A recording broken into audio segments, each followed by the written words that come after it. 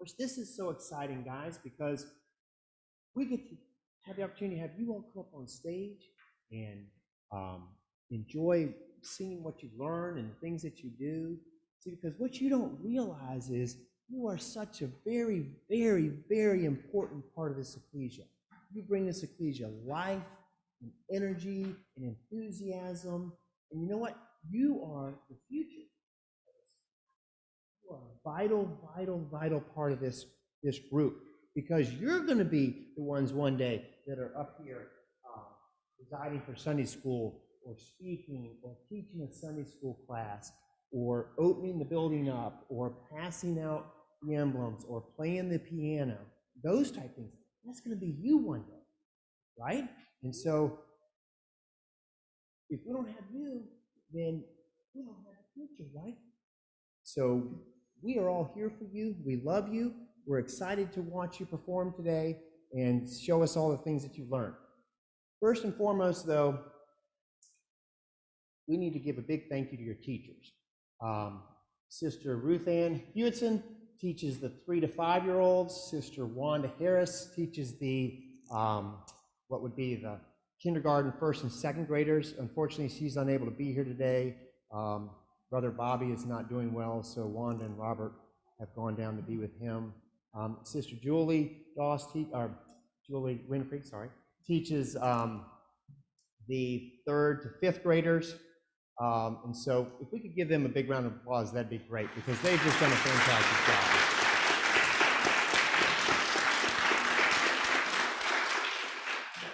So, our order this morning, we're going to have the youngest group. Uh, Sister um, Ruth Ann's class will go first, then Sister Wanda's class, then Sister Julie's class, then my class, and then all of the younger children are going to get back up on the stage um, to sing some songs. All right? So we'll start out with Sister Ruth Ann's group, which these are three, four, and five year olds.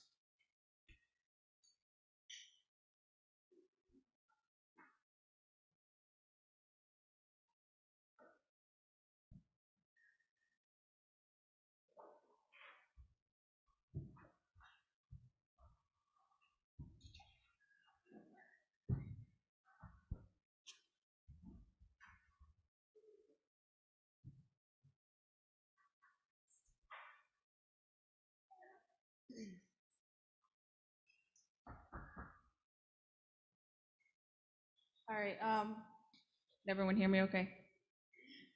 Uh, we have been going over Bible stories for little children, and it's um, been going from, we started in creation, and now we've worked our way up through Esther. Um, so the kids are gonna each um, answer a question, and then we're gonna sing one song for you. Can you tell everyone your name? My name's Ava. How old are you? Me. Who made everything in six days? God.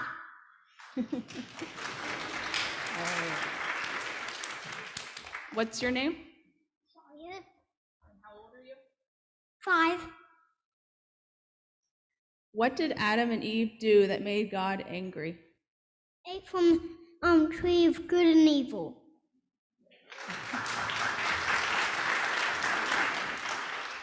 What's your name? Camden. Um, four. What did God What did God put in the sky after the flood? Rainbow.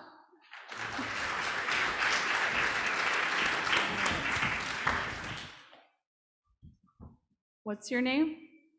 Lydia. Five. Who did God ask to leave his country, his home, and his father's house? Abraham.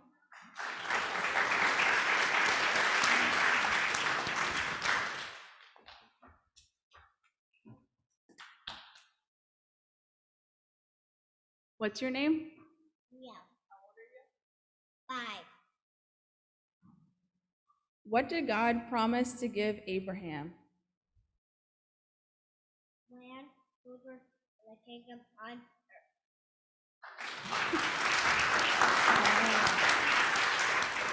What's your name and how old are you? My name is Wyatt and I'm five years old. How many plagues did God send upon the Egyptians? Ten.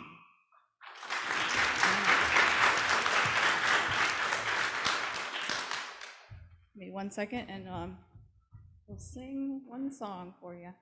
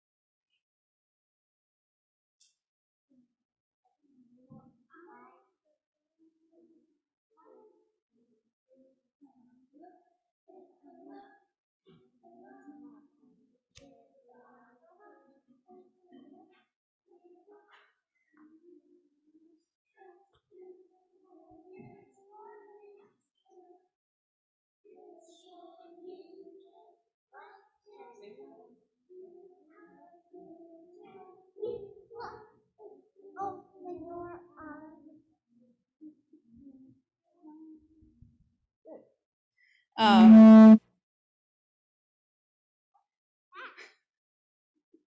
um, two of my students just showed up, so I'm gonna have you answer the question. Can you tell everyone your name?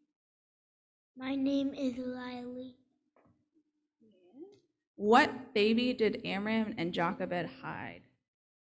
Baby Moses.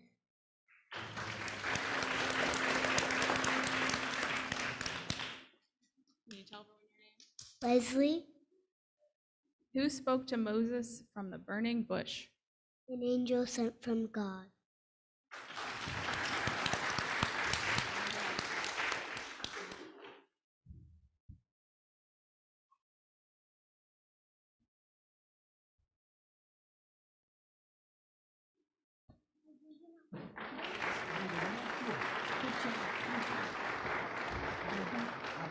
Y'all go that way.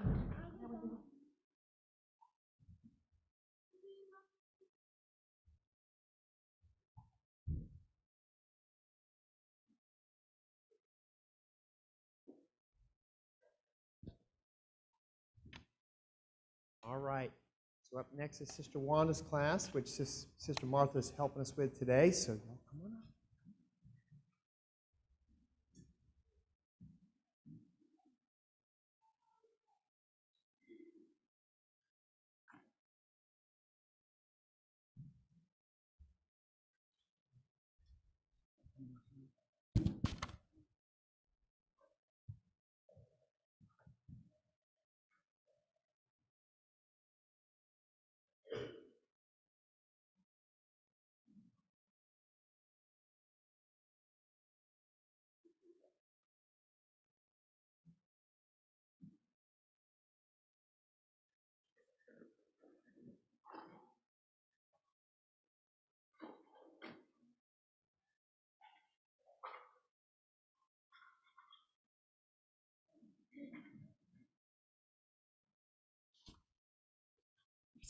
Is it on? Yes, it is. Okay. Good morning, everyone. Wanda has done a wonderful job with these children, and they are also wonderful to work with. Um, she started with Noah's Ark, that you might have seen last time, and then they've worked up through Genesis. So we're going to do a play for you today, which ties in with the gospel um, and the promises. And um, they're going to first start out by telling you how old their name and how old they are. So Alina, and I am eight years old. My name's Elisa, and I'm 10 years old. I'm Naomi, and I'm seven years old.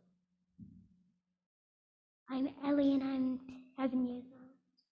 I'm Gailray, and I'm seven years old. I'm Nadia, and I'm seven years old. Okay.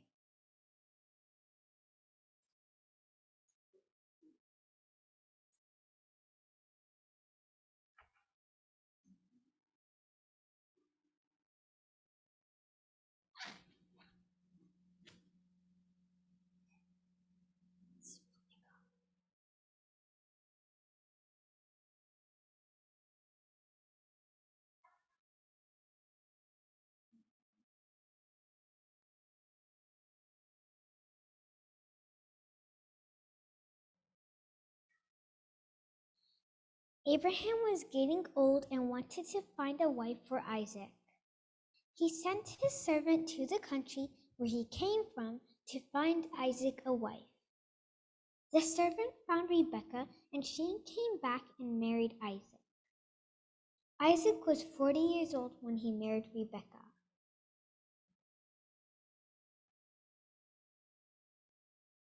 Rebekah and Isaac had twin boys named Jacob and Esau.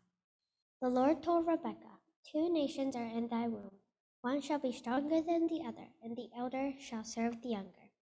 This was strange because the child that was born first usually has the birthright. Isaac was 60 when his sons were born. The first baby was red all over like a hairy garment. His name was Esau. Then his brother Jacob, the smaller and weaker one, was born, and his hand took hold of Esau's heel.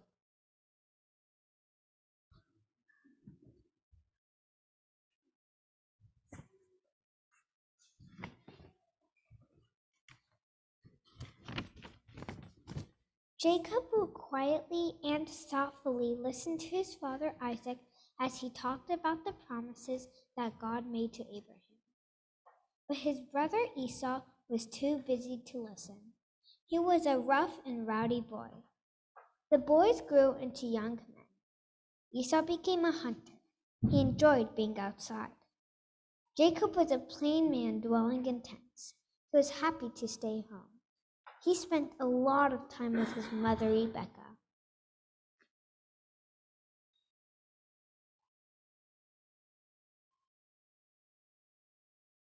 Isaac loved Esau because he was a strong man of the field and he enjoyed the meat that Esau brought home from his hunting trips. Esau was Isaac's favorite, but Rebekah loved Jacob, who thought about God and wanted to know about his ways.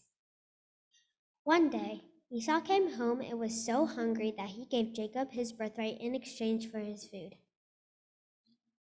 Jacob wanted this because he wanted to make sure that when something happened to their father, the family was never going to forget God and the promises given to Abraham and Isaac years before. Esau did not feel the same way. When Isaac was old and going blind, he sent Esau out to hunt and make his special stew before giving him his birthright. While he was out, Rebekah cooked food and had Jacob take it to his father disguised as Esau. Jacob put on some of Esau's clothes and put skins on his arms, hands, and neck.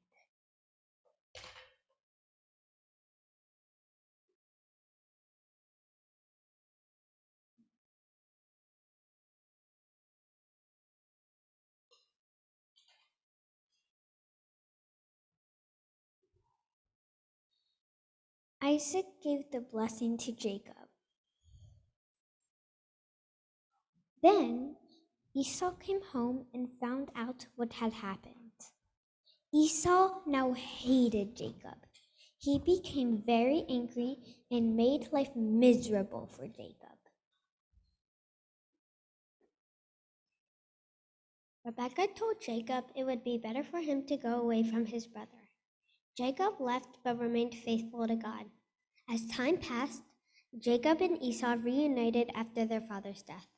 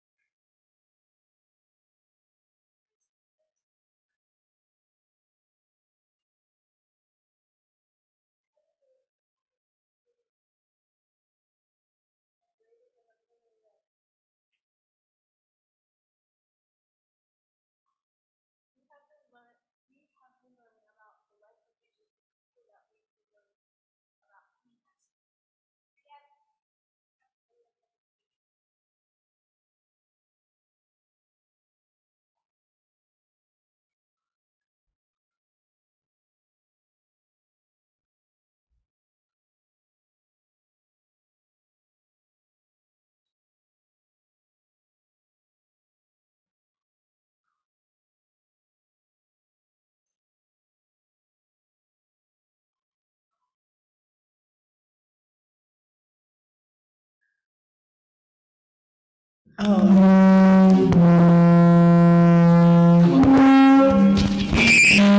Sorry, guys. To wake up.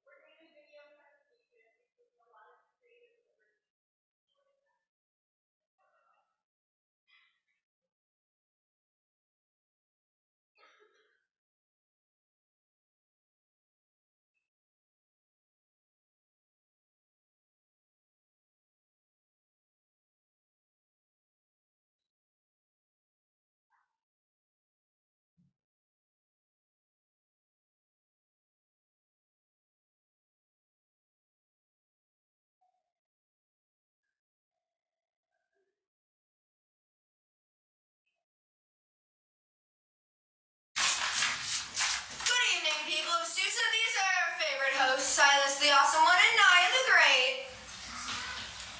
Yes, the drama continues over at the house. If you remember the horrors of last week and the decrowning and the decrowning of Queen Vashti.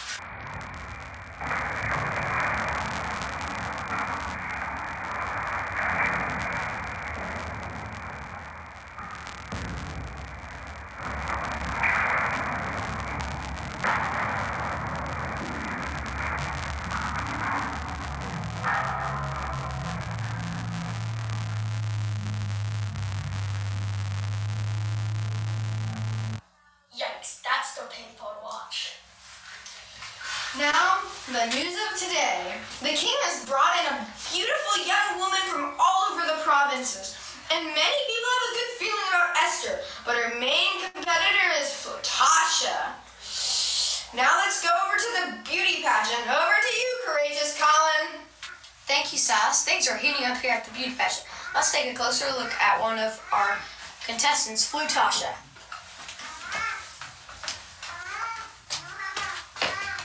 Esther, I'm coming for you. And now let's check in with Esther. I can't believe I'm actually here. Drum roll, please. And the winner is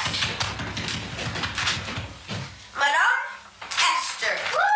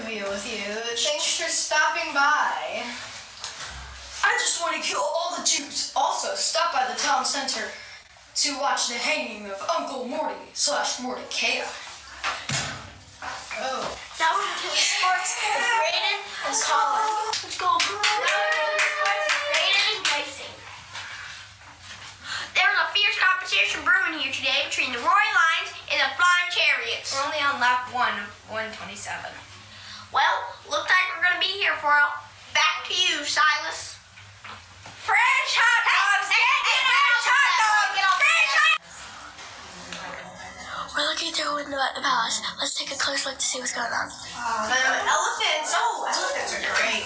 Hey, I'm just moving hungry. My petition is that you save me and my people. who is this evil man? This evil man is Haman.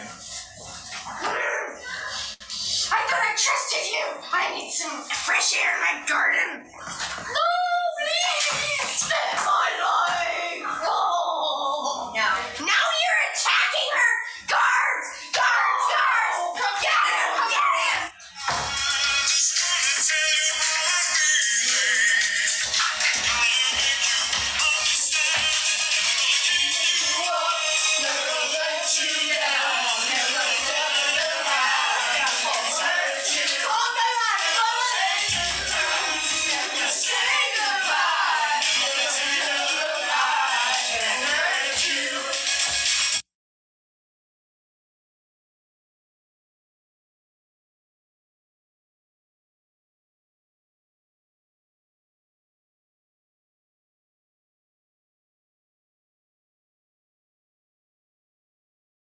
Class.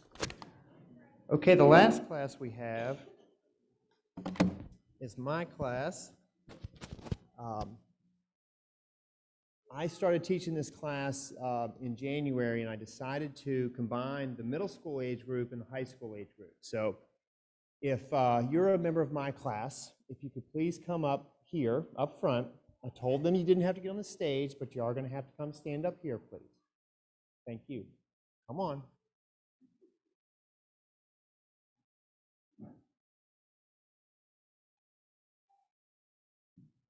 All right, you can stand right over here.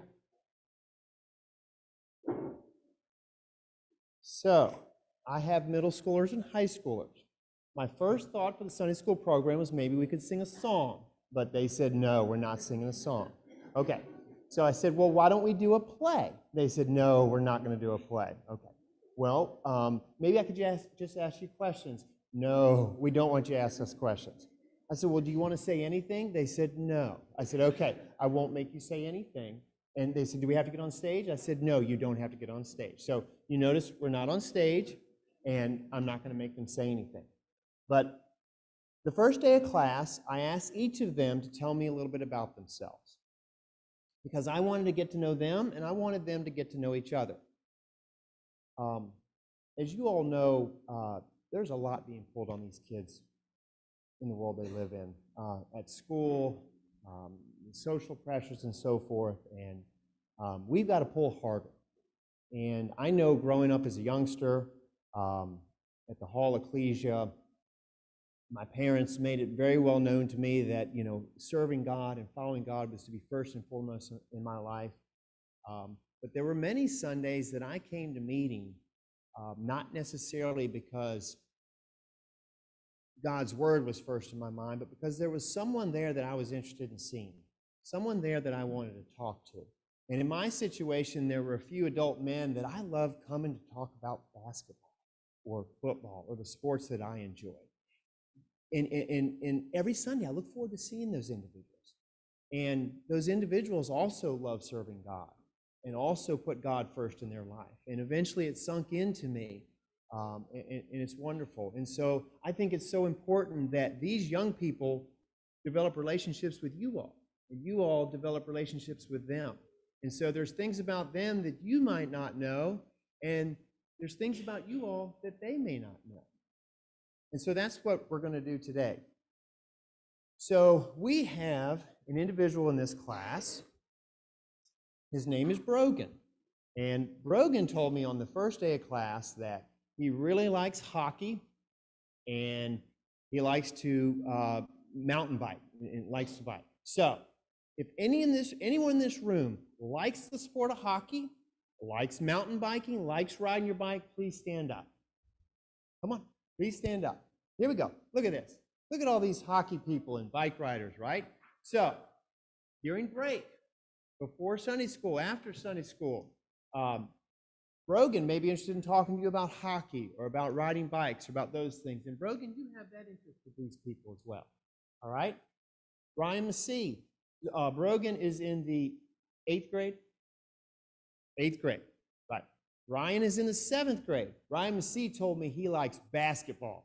And instantly, Ryan became my favorite student because I love basketball, right? And so, if anybody else in this room loves basketball, please stand up. There we go. We got a lot of bas- basketball people in this room, Ryan, that, that you can talk to them about basketball and they can come talk to you about basketball, okay? All right. Ria.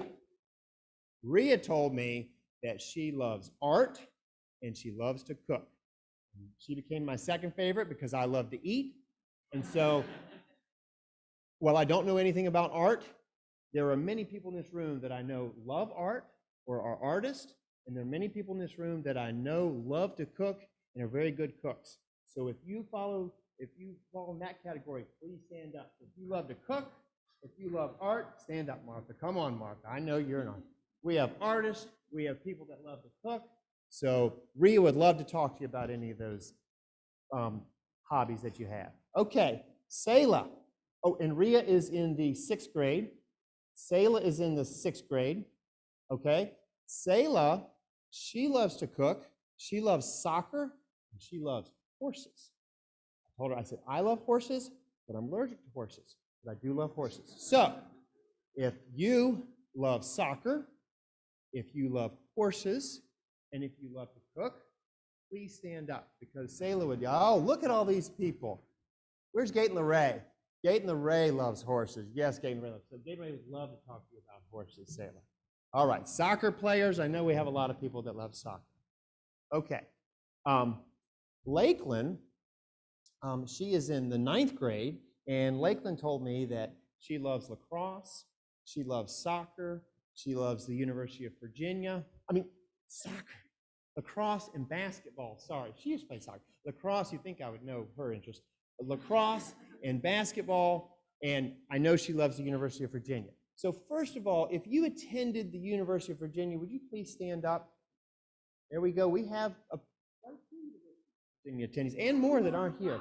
Keep, keep standing. If you love lacrosse, if you love basketball, stand up. All right. So we have some folks here that Lakeland can certainly relate to. All right. Next, we have Lael. Lael loves soccer. Lael loves to cook.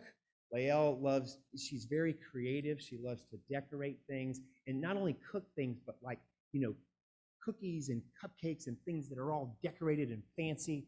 Um, she's very artistic, and so she's really into those type things. So if that's you and you love soccer on top of that, she also loves basketball, please stand up. Okay, Lael. Y'all can make some really cool desserts together and we can come eat them. Okay, great.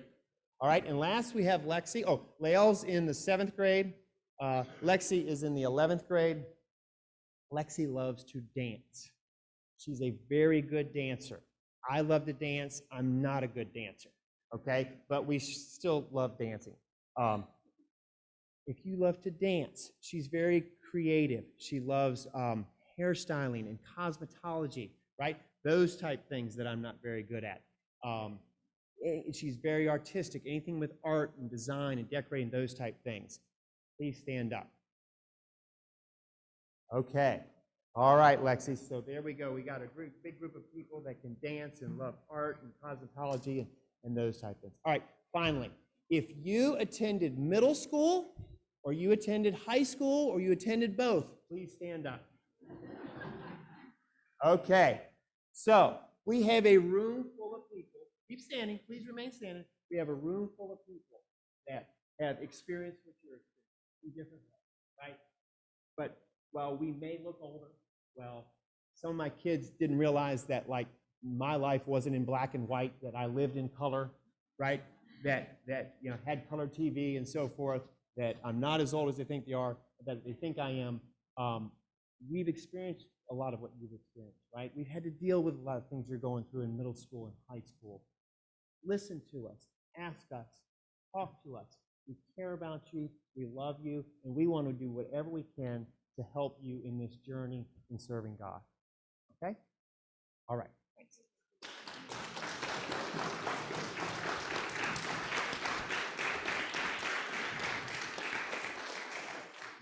All right, the final thing we have is we have our children's choir that's going to sing a song for us. So, all the children that go into the choir first thing in the morning during Sunday school, please come forward.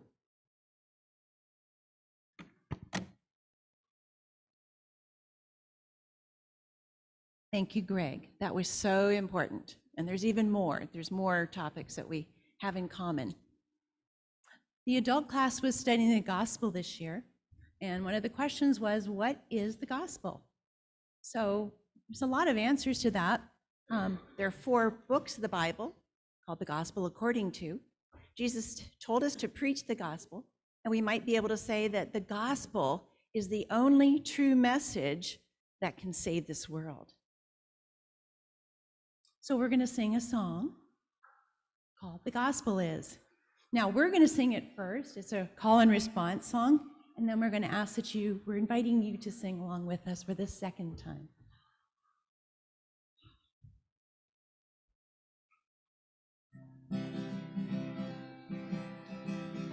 Is the good news, the glad tidings of the kingdom of God. In the name of Jesus Christ. Yes, the gospel is the good news, the glad tidings of the kingdom of God. In the name of Jesus Christ.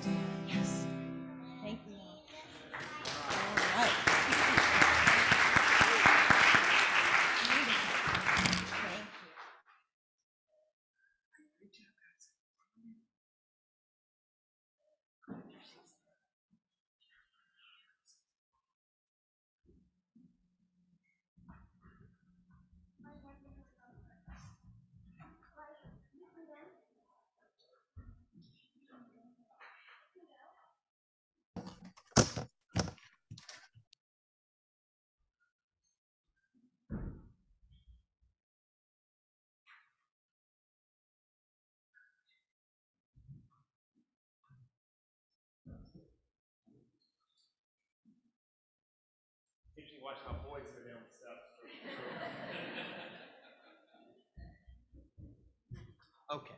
Well, great job, kids and teachers. Thank you so much. Yep.